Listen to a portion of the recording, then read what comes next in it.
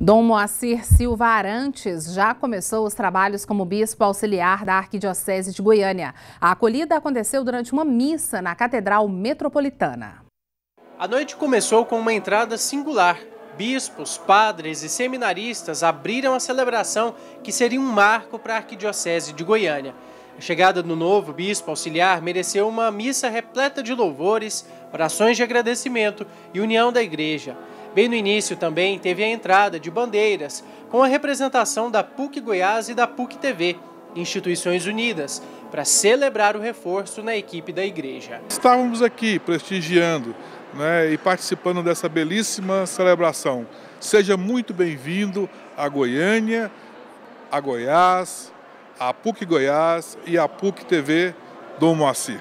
Na comunhão com nossos queridos bispos, nós peregrinamos neste mundo, hoje nesta acolhida a Dom Moacir e com ele e sou também a sua orientação a caminho do reino dos céus, peregrinando nos caminhos dessa terra. Dom Washington, que conduziu a celebração, disse que a chegada de Dom Moacir é muito especial para a igreja e principalmente para ele. Cabe a minha maior responsabilidade e juntos caminharmos para tornar a igreja sempre mais bela, sempre mais eficaz, sempre mais presente neste mundo, levando Jesus Cristo e o seu Evangelho.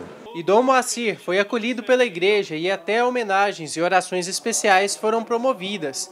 Ele agora espera muito trabalho pela frente. Nós, no momento da fecundação, somos despertados por Deus para esse dia de trabalho que é o viver e até o dia que terminamos esse trabalho, quando vamos para junto dele no céu receber a recompensa. Então nós temos que aproveitar esse tempo.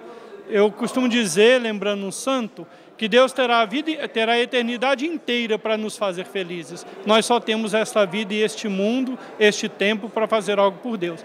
Então tudo que a gente puder fazer ainda é pouco. Então eu espero realmente muito serviço.